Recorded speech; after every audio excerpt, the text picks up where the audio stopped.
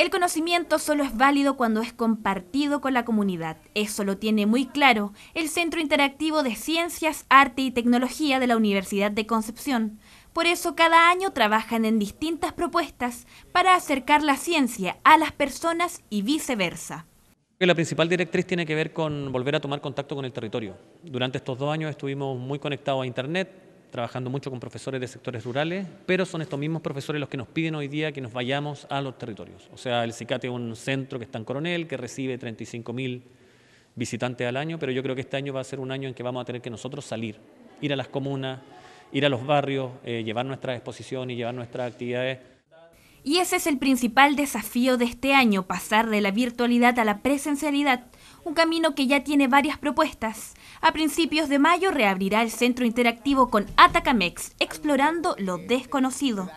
Una de, de las primeras percepciones que tuvo el programa Explora en el tiempo de pandemia fue que la virtualidad era capaz de invadir todos los espacios en los cuales teníamos conectividad, pero había un espacio muy relegado que era precisamente el espacio rural. Por lo tanto, se trabajó fuertemente en llegar a esos espacios y de hecho en la medida de lo posible, eh, eh, atacar esos espacios que tenían poca, poca entrada. Así fue que durante el 2022 muchos juegos, por ejemplo, de salón, mucho material didáctico se repartió en esa esfera.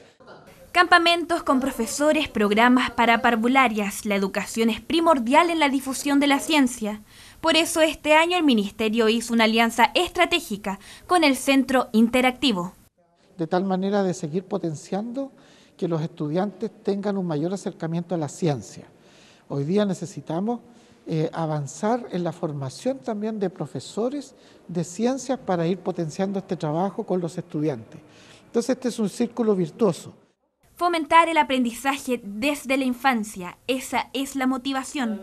Fundamental para llevar a las aulas escolares la ciencia y vincular el trabajo que se hace en la universidad que es muy necesario para que los niños y niñas y adolescentes puedan realmente imaginarse eh, cuando hablamos de la ciencia, de qué es lo que estamos hablando en las distintas áreas disciplinarias.